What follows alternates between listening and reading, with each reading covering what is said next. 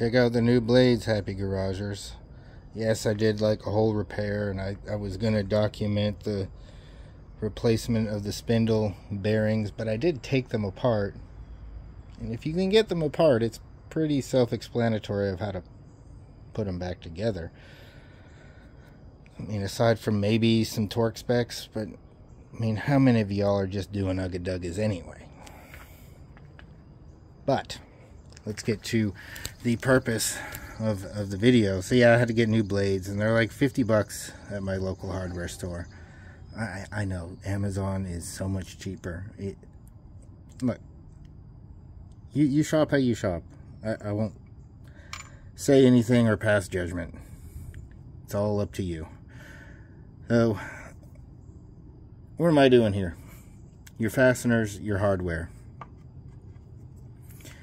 We have here on your, your blade retainers is a split ring washer, usually, many cases.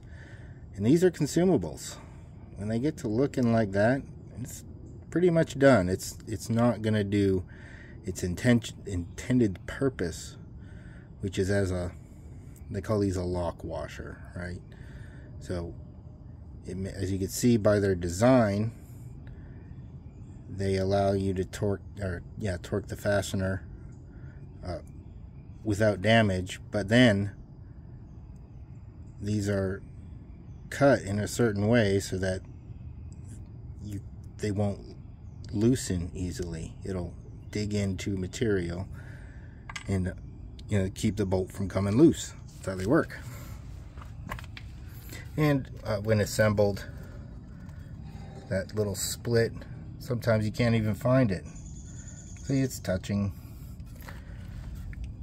So now that I've explained layman how they work there's the other one it's touching. Let me show you what happened to mine and why I state and kind of press and checking your your hardware your fasteners. Is uh, this bolt you know you you don't see anything wrong with it it's not stretched. I can put threads all the way down. It's not a big deal.